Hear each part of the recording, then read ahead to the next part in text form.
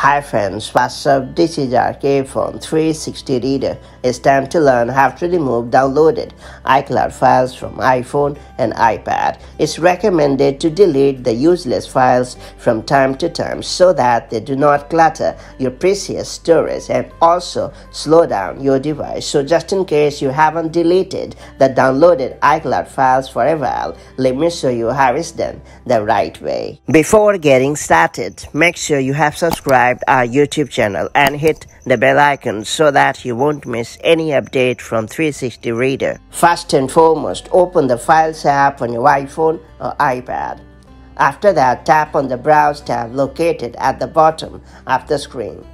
And then tap on the Downloads folder. After that, tap the tiny three dot icon at the upper right corner of the screen and choose Select in the menu.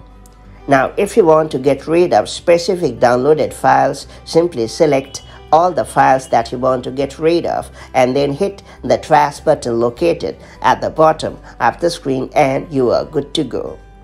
And if you want to delete all the downloaded files, simply tap on the select all option at the upper left corner of the screen and then hit the trash button and you are pretty much done. That's all there is to it. So that's how you can remove downloaded iCloud files from your iPhone or iPad. Now that you know how it works, make the most of it to keep all the useless files at a fair distance. That's all there is to it. If you found this video helpful, do like consider it and I'll see you in the next video with more such handy iPhone and iPad hacks. Till then, stay safe and have a great time. Bye bye.